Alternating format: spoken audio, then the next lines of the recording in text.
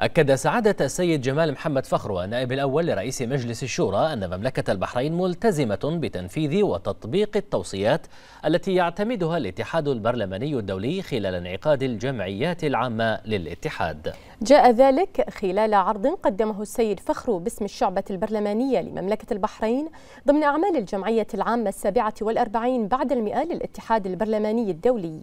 أوضح فيه عددا من الخطوات التي اتخذتها مملكة البحرين لتفعيل توصيات وقرارات الاتحاد البرلماني الدولي خلال العام الماضي مثل المساواة بين الجنسين والبرلمانات للنوع الاجتماعي المراعية للنوع الاجتماعي ودور المملكة في نشر التعايش السلمي وإصدار قانون يجرم الإساءة للأديان وإنشاء المركز الوطني للأمن السيبراني وإصدار قانون لحماية المعلومات الشخصية وقانون لجرائم تقنية المعلومات. وبين فخر أن البحرين وقعت نحو 40 اتفاقية أقليمية ودولية في مجال الأمن السيبراني وتقنية المعلومات وفيما يتعلق بتحديات تغير المناخ وضعت المملكة مبادرات كثيرة من أجل الوصول إلى الحياد الصفري بحلول العام 2060 وتقليل الانبعاثات الكربونية بحلول العام 2035 إلى جانب الانضمام إلى العديد من الاتفاقيات الدولية المتعلقة بتغير المناخ. وإصدار قانون جديد يتعلق بالبيئة وتغير المناخ.